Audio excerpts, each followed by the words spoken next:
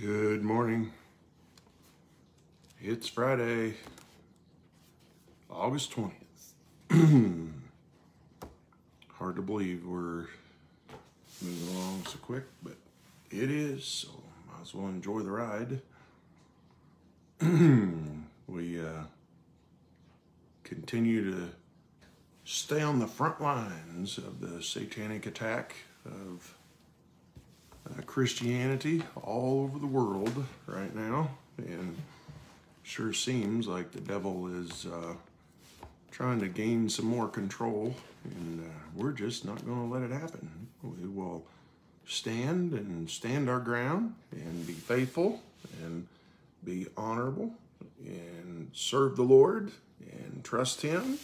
And uh, it doesn't matter what the lunatics are doing we're going to do what we're supposed to do. And we definitely need to pray for brothers and sisters in Christ all over the world. And definitely they're in Afghanistan right now. Uh, what what uh, challenges they are facing uh, is unbelievable. I read an article this morning, you know, and, and there again, you read articles and you don't know what's true, what's not. Um, but read an article this morning saying that the State Department is charging uh, Americans to fly them out of Kabul and uh, $2,000 person. So I wonder where that money's going. I, am I'm, I'm sure that's going in some uh, fund to help the poor and uh, not to buy somebody a yacht um, somewhere. Um, I'm sure it's not cash. You know, they, I'm sure they would try to give the people a receipt for their giving. oh man. anyway, it's uh crazy days we're living in, but God has chosen us to be here during this time. And so let's be faithful and let's walk with him and let's uh, uh, be what uh, what uh, God wants us to be. That that was I don't know about you guys, but uh, yesterday, uh, early evening, around what was it, 5:30 or so, uh, had quite a little storm come through Brush, and uh, a good little rain, and then wind blew, and and uh, it's kind of crazy. I saw towards the church, it blew over a few trees along the way.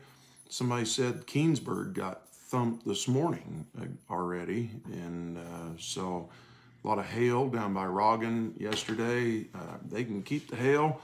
I just had $9,000 worth of hail damage fixed on my truck. Uh, crazy. So, but um, anyway, it's a good day. And I uh, hope you guys are having a good day. Beautiful day now. Sun's out. Uh, it's got some moisture on the grass. And uh, so a lot to be thankful for. So, um, so I was reading the Proverbs first thing uh, in in uh, my devotions and kind of have a system of things that I do. So, but always starts in Proverbs with uh, one of Chappell's uh, devotionals, and and I was in Proverbs twenty verse twenty three. Uh, diverse weights are an abomination un, unto the Lord. Diverse, various weights, and uh, in, this, uh, talking about false weights. You know, they they uh, were not um, uh, uh, honest in in that's that's how they measured many things, right? So measure out food, measure out coin, you know, all of that. So they uh, would measure these things, and and so these diverse weights are an abomination unto the Lord, and a false balance is not good, and there, there are always those that are chasing after the almighty dollar, dollar and they're, they are uh, constantly looking for the easy way and the get rich uh, quick schemes. And uh, God says there is something about hard work. And uh, yes, we know it's part of the curse, but we also know that God blesses uh, those who are not lazy and those who are diligent and uh, we we need to go out, we need to work hard, and we need to be honest in in giving out a day's work every day. And uh, uh, we all need to be doing that. And so let our work be honest every day, and stop looking for these easy ways. And and and uh, don't be fooled and tempted by that. You know, I, I've seen through the years in the ministry too. I, I, I I've seen people who who try to get pastors involved in these things just because of I don't know the influence they have over their congregation. So they look at that whole group that they could, you know, make money on or something. And um, you know, I think preachers really need to pay attention to their calling and just stay focused on serving the Lord and being the shepherd and, and serving the Lord full time and and quit quit worrying about um, uh, making the almighty dollar and, and know that look if we're if we're doing God's will then God's going to take care of things for us and let's just be um, serving Him and I just watch I just watch too many pastors who get caught up in these schemes or they get caught up in their in their secular work, and they so many have walked away from the ministry. And you're either called to it or you're not. And if you're called to it, then you better stay to the calling that God has called on your life, and and uh, uh, and don't do things that jeopardize that and would uh, cause you to, to to stumble and cause you to to lose the ministry. So be careful with that. And and with that, then we'll be back to Proverbs here uh, a little bit later too. But I was uh, I was um, reading about Nehemiah, and I was reading that in. I actually just finished up Nehemiah uh, and just finished up Esther this morning. But uh, uh, Spurgeon, in one of my devotions that I do, Spurgeon was talking about Nehemiah this morning. And it's a good point. He was talking about in chapter 3 where Nehemiah was repairing the gates and in the wall and there in Jerusalem and and how important the, the gates are because the gates are the ones that allow things in and allow things out right? And uh, and and I just yeah I spiritualized this a little bit but in thinking about this as I was reading this I I need to be careful of uh, what I open the gates to my heart to and, and what I open the gates of my eyes to and into my mind and to my thinking, right? I mean, we need to there there are there's walls are necessary for all all kinds of things and and there are there are walls and there are borders that uh, we need to have in our own lives and, and to protect ourselves and uh, it doesn't matter if you get peer pressure from others or if there are certain things that you need to avoid uh, because it brings some kind of a temptation to your life to not do what God is telling you to do, then put up that border, put up the gate, and, and don't let it in. And so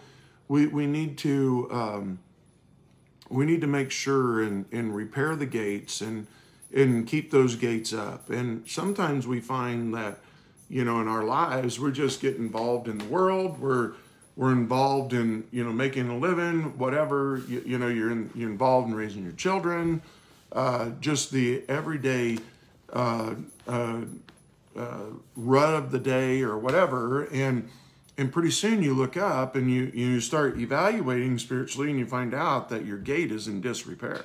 I mean, you have let the gate down. You're letting all kinds of junk into your own heart and your own mind in your home, in your children, you know, attitudes. Uh, I, I, mean, whatever, you know, we, we need to um, rebuild those gates. And that, that was just a, a good one for me today to, to remember, hey, get out of there. I tell you what, this dog, he, Thane's dog is so ornery.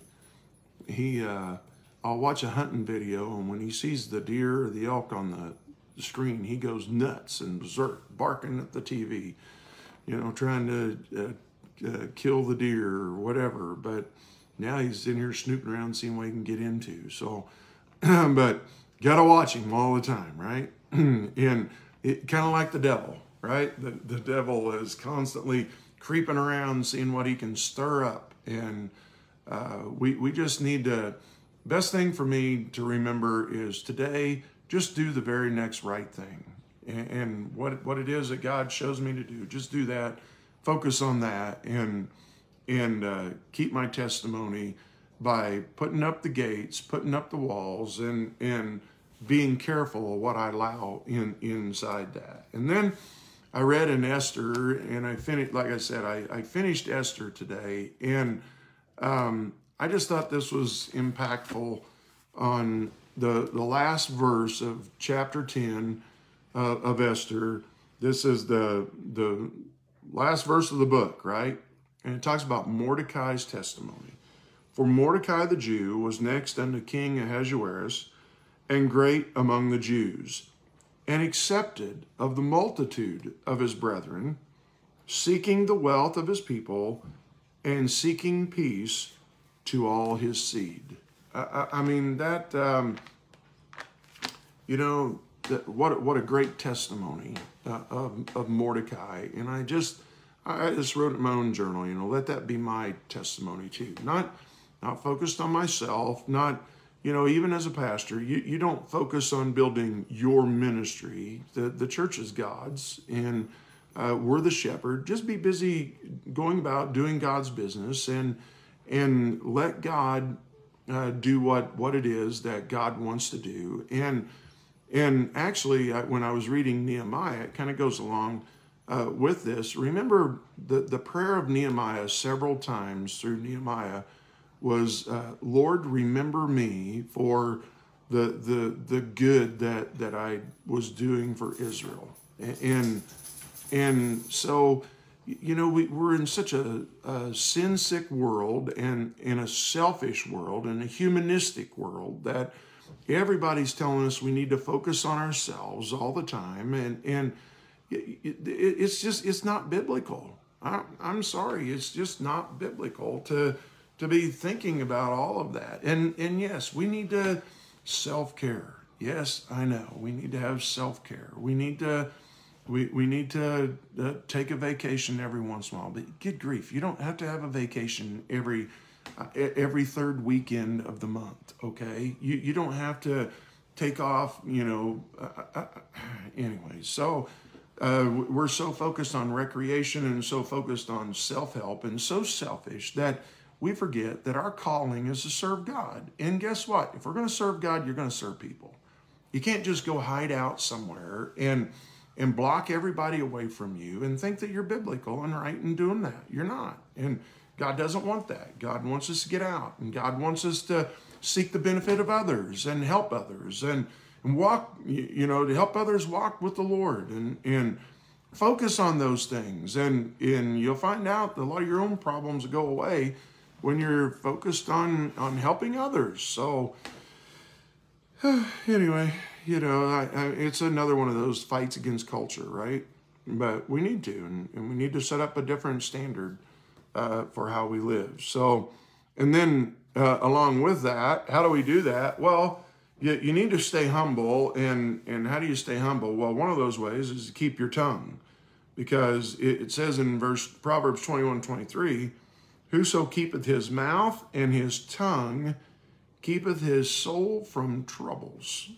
Boy, I need I need to I probably need to have Teresa take her Cricut thing that she has and and put that verse on the coffee pot. I mean, that's probably the, the most used uh, article uh, that I use around the house is that coffee pot. So every time I pour a cup of coffee, uh, I see whoso keepeth his mouth and his tongue keepeth his soul from troubles, and how we need to guard our tongue. And but then the very next verse says, "Proud and haughty scorner is his name, who dealeth in proud wrath." And we, we need to, and, and I mentioned this yesterday, and, and it seemed like God was was definitely that was the theme yesterday uh, of my my devotion for me was uh, walk humbly. You know, we, we need to walk humbly, and um, and it, uh, again here we we need to walk humbly, and because it says, "Proud and haughty scorner is his name, who dealeth in proud wrath," and so let let's uh, let's be careful. Remember the proverb too, where uh, I believe it says that uh, in in my own translation, but I believe that uh, all contention comes from pride. Uh, I mean, I, I uh, and that's not the that's not how the verse is stated, but it it I believe it means that. So um, think about all the contention that'd be uh, taken care of if we would walk humbly instead of proudly. And so um, pride is not a good quality. Okay, remember that pride is not a good quality to have, and so uh, self confidence is is probably not a real good quality because that that's you're you're you're robbing God of of what He's doing because you you can remember the basketball player that was going to use Philippians four thirteen, so they ended up allowing him to use part of that. I can do all things. Well, that that's no, you can't.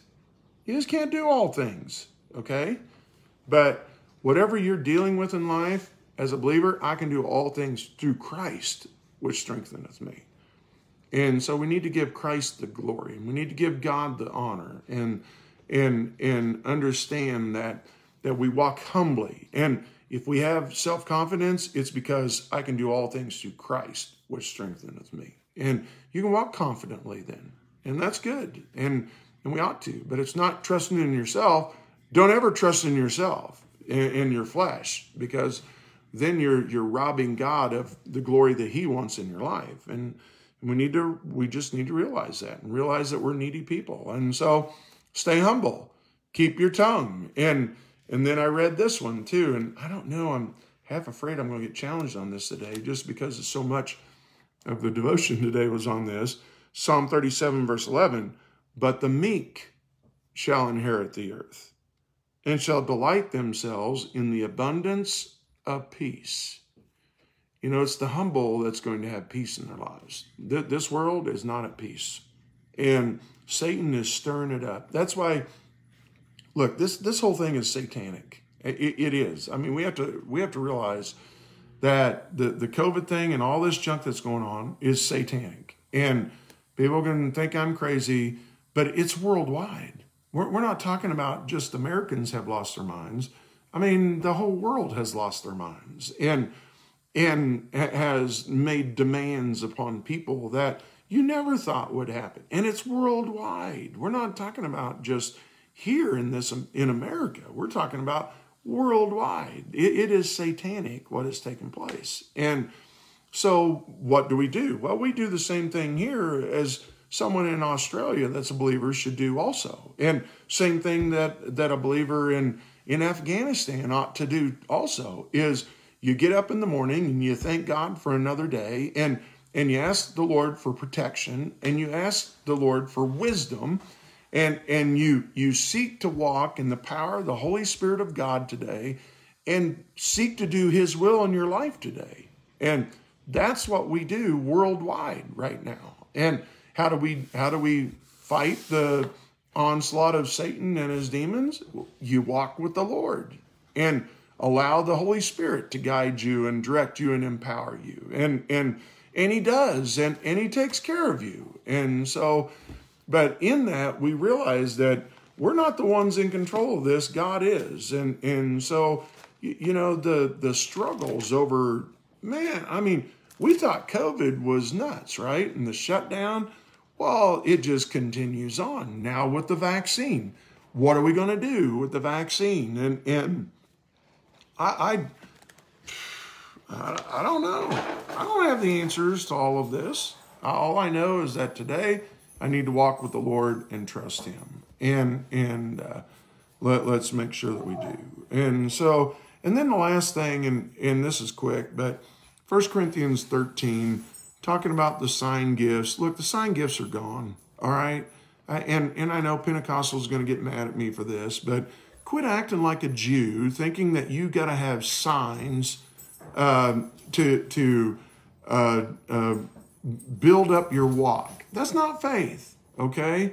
And, and so many want to, to express these things the prophecy and the speaking in tongues and the healing and and we got to have these to to to to prove that that God is real and God's proven himself to be real. Jesus proved himself to be real when he healed many and and uh, showed us that he was the very Son of God. And, and, and so we know that. And, and we know that when the Word of God was complete, that, that those sign gifts all disappeared because we don't need those. We have the entire Word of God in front of us today. And we know the answers. And we have the complete, the complete Word of God from Adam and Eve to the, to the, very beginning or, or completion of salvation in, uh, in the Word of God through uh, the book of Revelation. So just quit seeking all these signs and walk by faith and just trust Him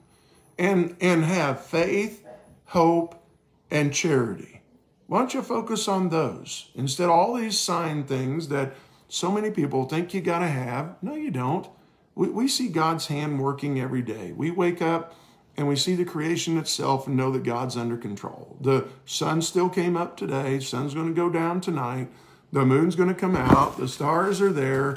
I, I mean, that that's God, and and He's real, and we know that. We trust Him. We watch Him do works uh, through our lives, and and we preach the Word of God. We see people trust Christ as their Savior by sharing the gospel. Every day we see God is real and we don't have to have all those signs. And so just quit looking for all that stuff and just serve God and walk with Him. And people keep looking for signs that, well, is this the is this the end of days? Uh, and I don't know.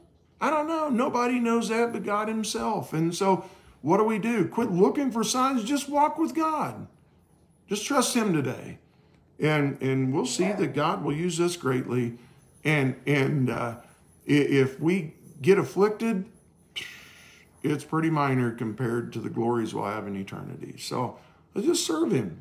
Let's walk with Him. Let's trust Him, and and let's be what uh, God wants us to be. So that's a that's a happy thoughts for Friday, and uh, hope you guys have a good day today, ladies. Don't forget if you're in the area have the ladies' luncheon Bible study today at 11, 11 to 1. So come on out for that.